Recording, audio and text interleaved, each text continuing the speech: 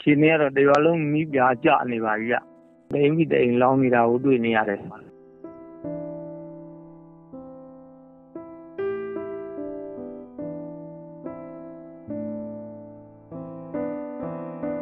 အိမ်ခြေကတော့တရွာလုံးရှိတာ၇၇၁အိမ်အားလုံးပေါင်း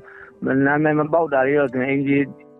တထောင်ကျော်လောက်ရှိတာကိုဒီဘက်တောင်ဘက်တတန်းလေးပဲကျန်တော့တယ်ဗျာ။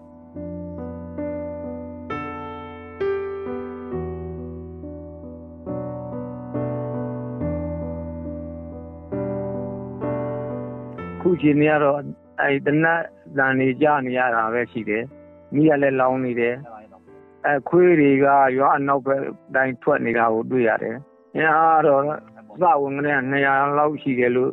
ပြောတာကိုကျနော်တို့လှမ်းမြင်ရတာတော့၅၀လောက်တော့လှမ်းမြင်ရတယ်။ကပိုင်တောင်ဘက်အခြမ်းကအရှေ့ဘက်အခြမ်းနဲ့တောင်ဘက်အခြမ်းကတော့တော်တော်လေးကုန်သွားပြီ။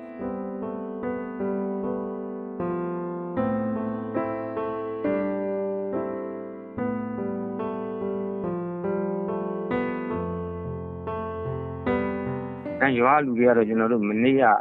မနက်ခင်းကတည်းကကျနော်တို့အားလုံးကိုလူကြီးလူငယ်မရွေးအကုန်လုံးကိုကျနော်တို့ကမိုင်းနဲ့အော်ပြီးတော့ဒီရွာကိုလာမှသေချာနေပြီအားလုံးထွက်ဖို့ဆိုပြီးတော့ထွက်ပြီးတော့လူတည်းကိုယ်တည်းတွေမှာနေကြတယ်ဗျ။အသက်ကြီးတဲ့ရှေးလူကြီးဘာညာ၄-၅ယောက်ကတော့ကျန်ခဲ့တယ်။သူတို့ကတော့လုံးဝမထွက်ဘူးသေချင်သေဘာညာနဲ့ဆိုတဲ့ပြောမရအဆိုမရတဲ့၄-၅ယောက်ကျန်ခဲ့တယ်